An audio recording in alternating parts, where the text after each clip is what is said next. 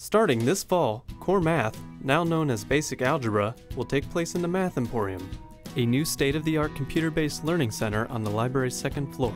Assisted by a team of faculty, graduate students, and peer coaches offering one on one help, you'll learn through an interactive software program called ALEKS. This web based software will customize the learning plan specific to your needs, allowing you to work through the course requirements at your own pace. You go on, you take an assessment, and it sees where you lay out, so everyone's at different places. The system is set up, it's sophisticated enough so that it can identify exactly the right level to introduce these problems to the student. It knows when they're ready to, to do a particular kind of problem.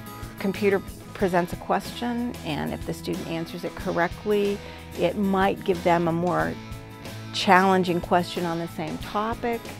And if they answer that correctly, then it moves them on to another topic.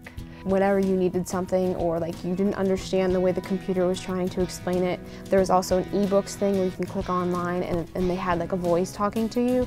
But some people still, that's not enough. And you can ask the teacher anytime you want to, even if you don't feel like going on ebooks or asking the computer for help, you can always, the teacher's always there. The students seem to like it.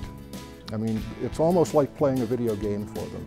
It's not unusual for them at home to sit down and start working and two hours later realize, my heavens, I've been sitting here for two hours doing these problems. I do like the traditional teacher, student, um, learn from a blackboard rather than a computer screen. But after this ALEKS program, I actually liked it and it helped a lot, so I didn't really mind it. My experience with the kids who have been in this program is they feel more confident. They feel like they actually know something.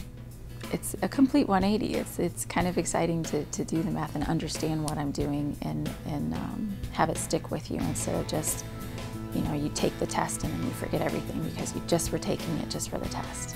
One thing that this approach does is gradually convince the students of their own ability to learn at a high level uh, and they, they learn by actually doing.